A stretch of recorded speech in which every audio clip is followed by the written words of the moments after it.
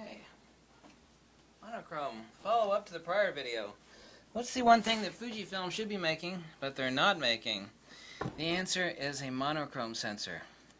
Now, it would be a bad idea to make it out of the X Pro 2 or the XT2. Obviously, you'd have to strip the menu system bare for a lot of the uh, color function settings, and obviously, you don't have to worry about white balance, do you?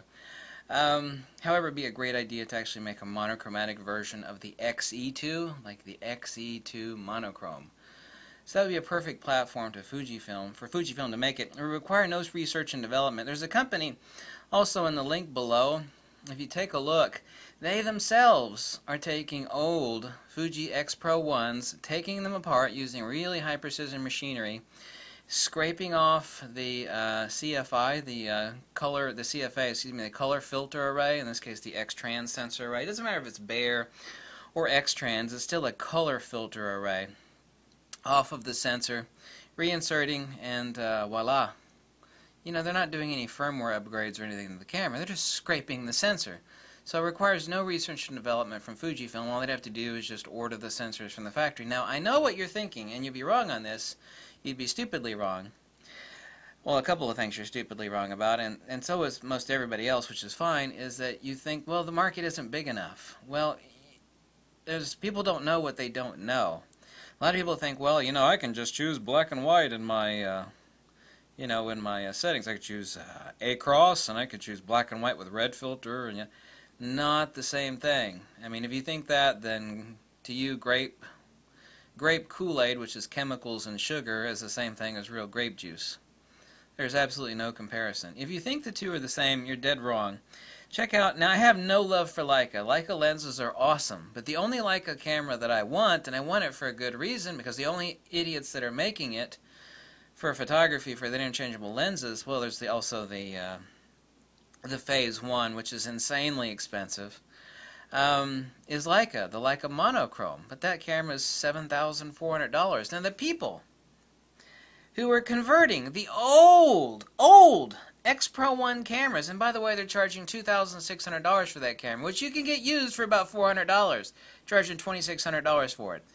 They themselves admit that the old X Pro 1, which you can get for 400 bucks, and they're just scraping the color filter array, has way better performance than the really expensive Fuji monochrome. That says a lot.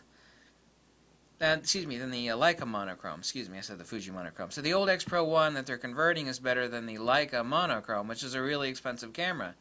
Do you know how much that tells you? I mean, Leica lenses are great, but their cameras, their digital cameras, are, are trash. I used to own Leica film cameras, okay? But I'm not going to buy a Leica digital camera because they're overpriced junk with poor customer service and they suck. Leica lenses are awesome.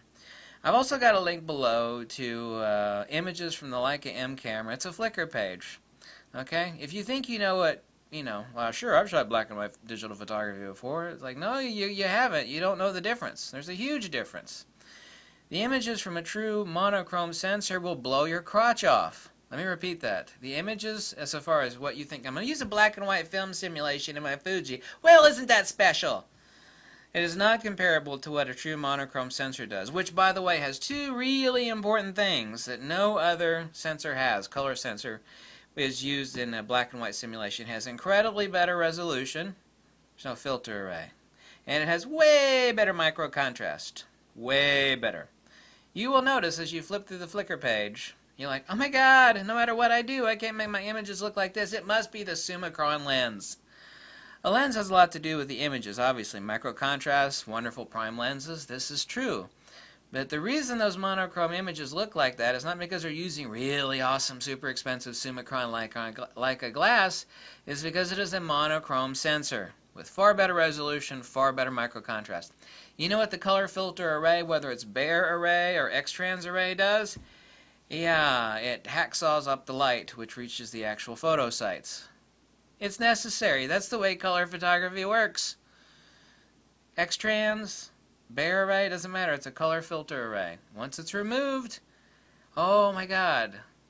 It's like taking off the rose-colored glasses, or in this case the blue-colored glasses, or the green-colored glasses, off of someone's eyes and letting them see just the light. There's a lot of people that walk around in the world with just, uh, they have no color perception, right? You know, they're colorblind.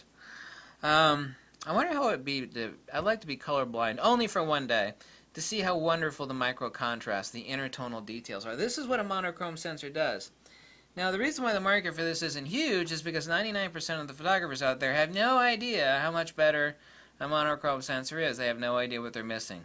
There's a lot of black and white. You might say, well, you know, the totality of black and white shooters, one is a black and white camera only.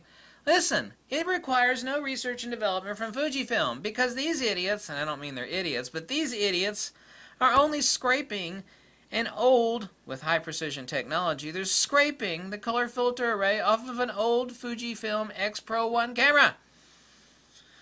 So while it would be an unwise idea to have a monochrome XT2 and X Pro 2, they could easily make a monochrome version of the XE2, or in this case the XE3, excuse me, you know, and strip the menu system of all the, uh, you know, white balancing and color uh, selections in the menu system, and just have a monochrome. Man, they would sell the hell out of it. It would also give uh, Fujifilm, well, it would not be a huge monetary winner, but they would they would destroy Leica overnight for the monochrome. They also would have to create a market by advertising. They'd have people like me and other people saying, listen, this is what you don't know about why a monochrome sensor is awesome. Okay?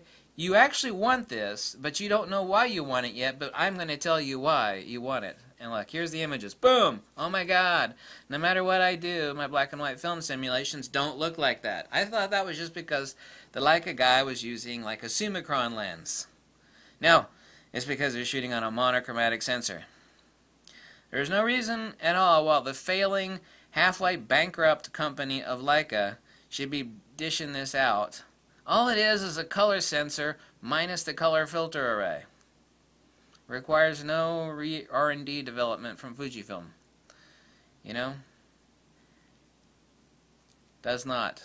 Fujifilm should be making this. They would destroy Leica overnight the same way that Fujifilm has destroyed um, Mamiya and Pentax with their medium format camera. They did it in run around Nikon and Sony. You know, Nikon Sony doesn't have a medium format camera. Boom, there it is. We nailed it. We crucified it. Now we own it. Fujifilm 2, most importantly, what do you think their X Pro 2 is? I mean, how many people use like there are a lot of Leica users that were not die-hard Leica fans. Like, I love my Leica, but I mean, screw this overpriced crap. I'm going to buy an X Pro 2, and I'm going to have a real camera, Fuji. Fujifilm has already been stealing Leica people for ages. The people that want the digital rangefinder experience, and they want it reliable with good customer service. But Leica customer service sucks, by the way. Even the hardcore Leica people tell you, oh my god, their customer service sucks. Fujifilm should be making this. Click the links below, and there's also an important link from the company that does these. The MTFs off the sensors, once they're uh, scraped of their uh, color filter array, their CFA, way better resolution. The MTF, uh, MTF charts are way better. Micro contrast is really important. You, if you look at these images on the uh, the Flickr page for the uh, Leica monochrome, you're like, wow, these images look so silver and beautiful. There's all these rich intertonal details that I can never do. It's like, you're thinking it's the lens. It's not the lens. And the people that are scraping these X Pro 1 sensors are saying this old damn Fujifilm scraped is way better than the super expensive new Leica. that means that Leica would destroy. I mean, excuse me, Fujifilm would destroy Leica overnight on that uh, on the, that section of a photography. There are a lot of people that want this, but there's a huge number of people that would want this if they knew what it really was. Like, well, you know, how's that any different than my black and white film simulation? Oh, girlfriend, it's hugely different. You remove that color filter array, the resolution goes, the micro contrast, and then the black and white pictures look incredible. Oh, incredible. I'm not spending $7,400 on an overpriced frigging Leica monochrome. Fujifilm could make this camera overnight. The market share of what they'd be selling on them would not be that high, but all they'd have to do is just a little bit of average like this. Hello, we're Fujifilm. This is why you should have this camera. This is what is so important about it. If you are uh, serious about black and white photography, Fujifilm has already got a lot of people that are serious about black and white photography. Already got them. If Fujifilm said, boom, here it is. This is like what this is, by the way, and this is the best way to put it. The monochromatic sensor is the black and white photography what medium format camera is to regular photography. You know, all those people out there, and I've got the Fujifilm GFX. Like, oh my god, that huge sensor, huge, 51 megapixels. That's the medium format. That's what people want. Obviously, it's slow, it's not fast. It's for product, portrait, commercial. That's what medium format is to full frame and crop sensor. A monochromatic sensor is that to black and white photography relative to what black and white film simulations are to regular photography. There's a lot of black and white shooters. Fujifilm would literally be making the medium format, meaning the desirable, for black and white film photographers. Black and white photographers, excuse me, I said film.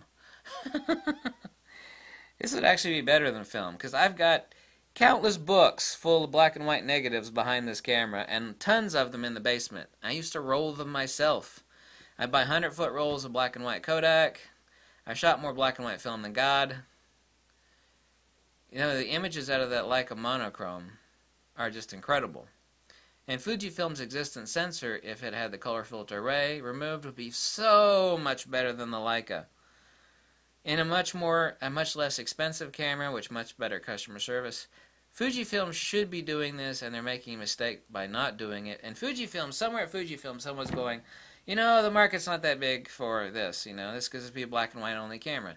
It's like, no, it would be huge. You'd get everybody that loves black and white would buy this camera, and all you'd have to do is have an ad campaign telling the truth, saying, this is why a monochromatic sensor is just the epic tits.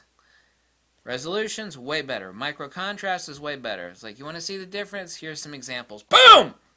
And then everybody go, oh my god, I didn't know black and white photography should look so good. I want one. That's what would happen. Did you hear me, Fujifilm? Did you hear me? Did you hear me? Did you hear me? Did you hear me, Fujifilm? Bye.